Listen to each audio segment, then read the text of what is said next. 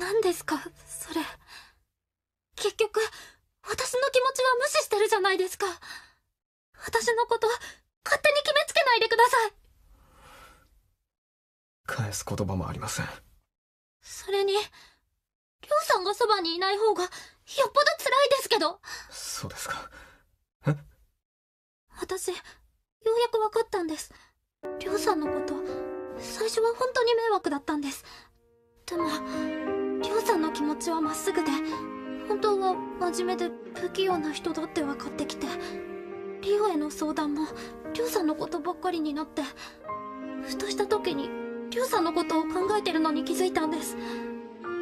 鬱陶しいしキザだし犯罪ギリギリだし頭と顔がいいアピールしてくるし自己中心的だしひどいところばっかりだけどでも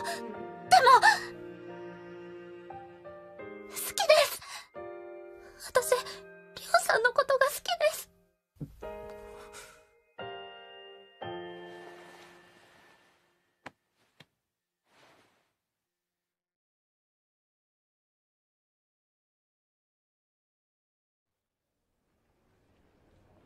はい。